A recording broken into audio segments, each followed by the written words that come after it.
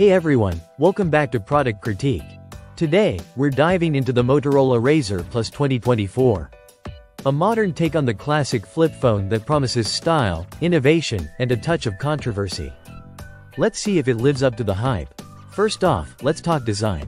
The Razr Plus 2024 is a stunner with its sleek, foldable form factor and vibrant color options like spring green and hot pink. Motorola has opted for a durable build, featuring what they call vegan leather on the back. Which feels great in hand and adds a unique aesthetic flair. The larger cover display is a standout feature, providing ample space and brightness for quick interactions without unfolding the phone.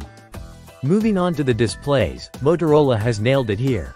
The main 6.9-inch POLED LTPO screen is sharp and bright, hitting up to 3000 nits peak brightness which is great for outdoor visibility but might be a bit too bright for late-night use. The smaller external display is also impressive, serving well for quick glances and notifications. Now, onto cameras. The Razr Plus 2024 boasts a dual 50 megapixels rear setup and a 32 megapixels front camera. While these numbers sound impressive, the actual performance is good but not groundbreaking. Photos are generally sharp with good color reproduction, but it falls slightly short compared to top-tier camera phones in low-light situations.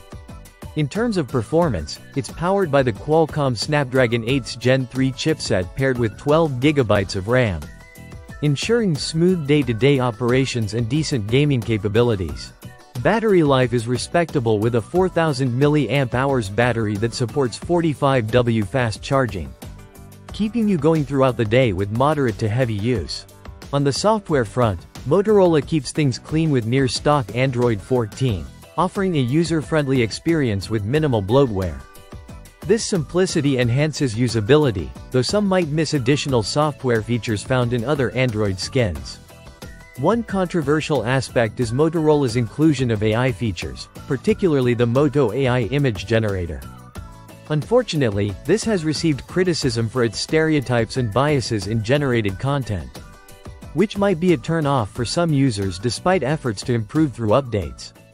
To wrap it up, the Motorola Razr Plus 2024 is a standout device in the realm of foldable phones, blending nostalgia with modern technology. It excels in design, display quality, and overall usability, making it a compelling option for those looking to stand out. However, its camera performance and the divisive AI features may not appeal to everyone. If you're drawn to its unique form factor, vibrant displays, and the allure of a foldable phone, the Razr Plus 2024 delivers a solid experience. Just be aware of its camera limitations and the ongoing developments with its AI functionalities. That concludes our review of the Motorola Razr Plus 2024. If you enjoyed this video, don't forget to like, subscribe, and hit the bell icon for more in-depth product reviews. Thanks for watching, and I'll see you next time on Product Critique.